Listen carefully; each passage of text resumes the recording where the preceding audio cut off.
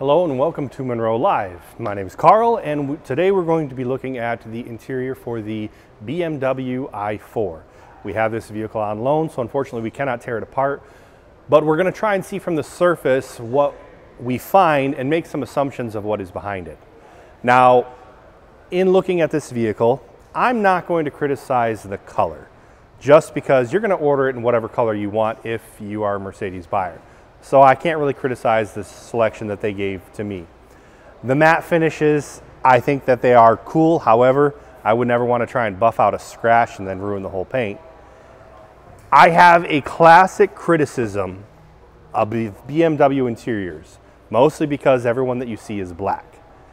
Thankfully, the one we received is not black. I think that the different colored interiors show up much better on camera, and it's easier for us to see either the quality features or the flaws. In looking at the seats themselves, we were trying to figure out the materials. All right, the perforated section, yes, that is leather. But everything else we've determined is vinyl. So we have leather inserts, vinyl shoulders or outer uh, faces. All right, so what is the market for this vehicle? What is this vehicle? I do believe this is at $82,000. At 82,000, is this a luxury vehicle or is it a sports car? I would say that this is meant to be a sports car. Um, it is approaching luxury in some of its different features, but it's not all the way there. It still has some fairly utilitarian aspects to it. All right, I'm gonna start with the door.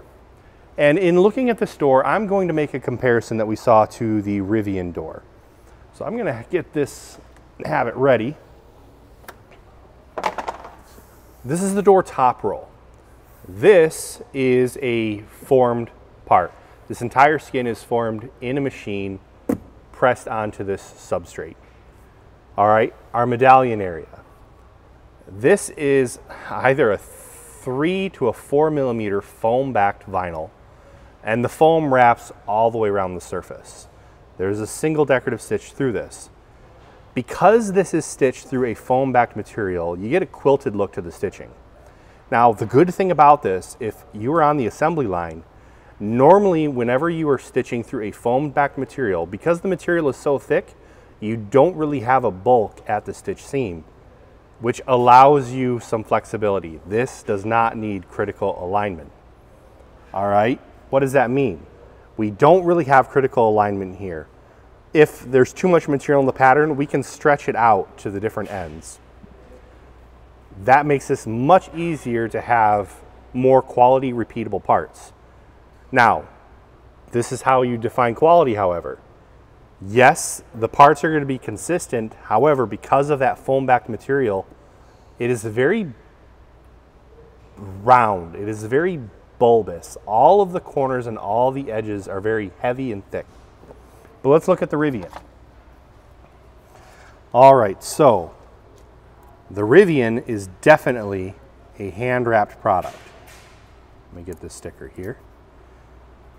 This is a hard wrap. You'll see that there is no foam on this material at all. It is direct wrap over edge. It is a hard wrap on this side, but there is a foam layer on the inside. So that foam layer is most likely placed in there.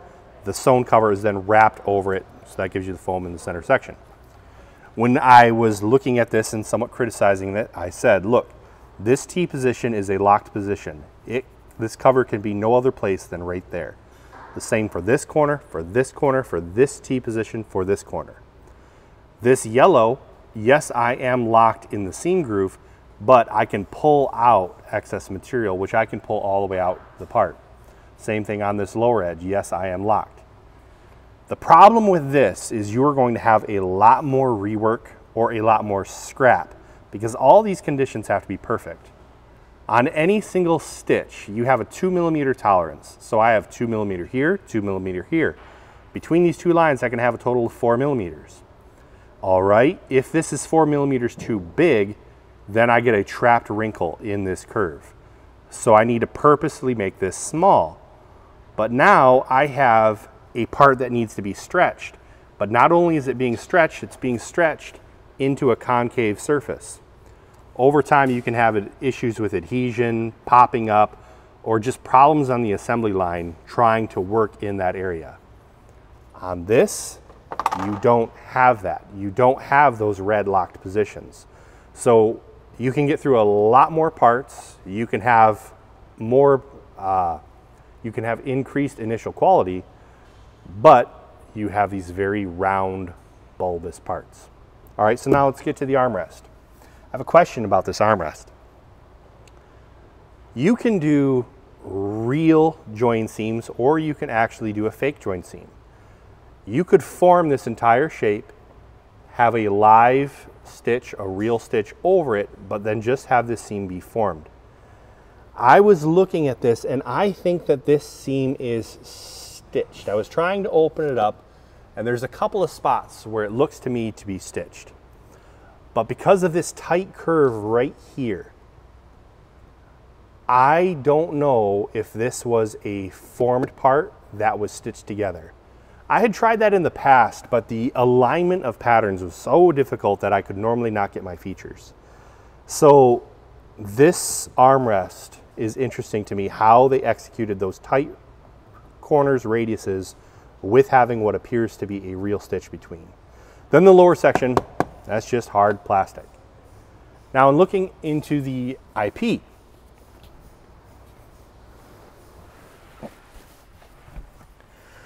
The upper panel is a cut and sew live stitch, but it's kind of hidden. With this screen in the way, it's very hard to actually see from the driving position that seam. But the entire upper section is a cut and sew.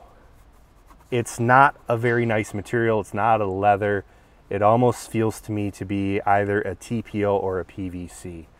So it's a high quality execution, but not a high quality material.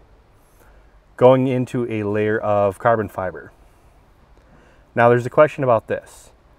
Yes, you can use real carbon fiber for these decorative panels, but it is truly just a decorative panel. It's not taking any load. It's not there for strength. So you can do hydrographics or you can do fake plastic parts that simulate carbon fiber. I'm not sure what that is. Um, but that is on the IP and it's also on the mirrors. Uh, there is a slight color difference between the IP and the mirrors, so they may be two different executions. Going down into the lower section, this is a thermoformed skin that is foamed. Now, what do I mean by that? I'm going to show you the Tesla Model 3 IP lower to get a comparison. So here's the Tesla Model 3.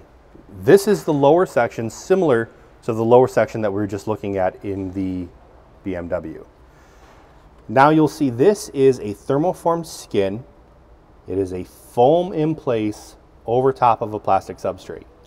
Now the good thing about doing this is you can get very sharp corners. You can fill in areas and make features that you cannot do with a hand wrap part. Now this however makes for a very heavy part so you're sacrificing weight.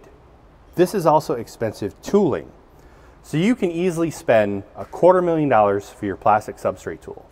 You can spend a quarter million dollars for the skin forming tool. Then you can spend another quarter million dollars for the foaming tool that goes between them. All right, so three quarters of a million dollars to be able to make this part. However, with this execution, you have a low cost finished part. If I were to just take a substrate and then wrap it, I'm putting it in a lot of labor. Adding in that labor makes for a higher cost finished part, but it normally has a lower cost investment. So sometimes when we're talking to customers and say, oh, I need a low cost vehicle, like, okay, a low cost vehicle normally has high cost tooling, high cost investment. Whoa, I don't have the money for the investment. Okay, so if you don't have the money for investment, then you're going to have a high individual piece price, but you're going to have low cost tools. That high piece price is directly related to your vehicle selling price. You end up having a balancing act. You can't have both, um, or it's very difficult to have both unless you make some very sacrificial decisions. So let's go back and look into this i4. So going from the seats, we do have a wrapped armrest cover. You know what kind of surprises me? You see the French stitch or the double-sided decorative stitch going along all of these join seams. That's the same seam that is on top of the IP, just of course in a different color to contrast with the black. I'm surprised that they did not do it on the center console. Center console just has two material join seams, but there's no decorative seam going over them. Now that decorative seam would cause problems going over this tight interior corner on the front. So maybe they sacrificed the seam for this condition. But I'm just kind of surprised that they did those decorative seams in other locations but skipped this part. The rest, of course, it's more of a traditional car. A much bigger display screen, which is more and more popular even in internal combustion engine vehicles. Traditional air vents, traditional buttons, a lot of buttons as a matter of fact. That goes to either a design philosophy. Some customers like having a fixed button. They like the muscle memory of saying, when I want to turn on my heat, I don't even have to remove my eyes from the road. I just know where that button is. Some people like to move all of that to a center screen and just get rid of all of the clutter. It depends on you. It depends on the customer what that's what's needed. So, I'm a big guy. I will completely admit it. And when I was going to buy my last car, the salesman takes me up to the vehicle and without even opening the front door, I opened the rear door and got in the back without adjusting the front seat. And the salesman looks at me and says, well, you're not gonna be riding back there. They always adjust the front seats really, really far back to show you, look how much legroom you have. Well, I'm a big guy and my friends are the same size as me, so if we're all riding in my car, I need to know that they're gonna be comfortable in the back seat. So let's hop in this back seat.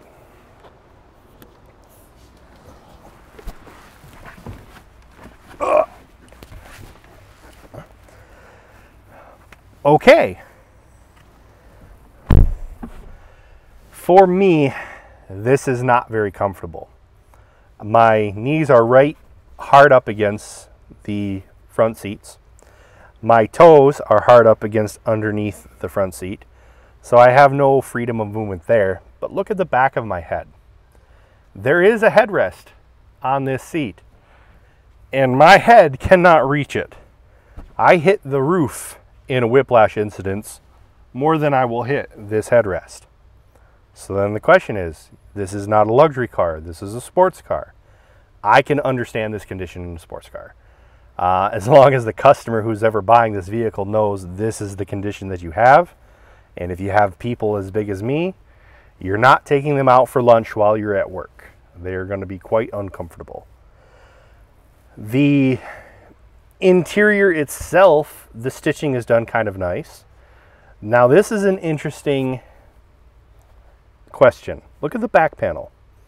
This is just an injection molded plastic back panel with a net map pocket. That is the lowest end you will see for any back panel map pocket. So on a $25,000, $30,000 car, this is what you would get. I did some minivans and this is what we had in the minivan. All right, what about the color? It's black.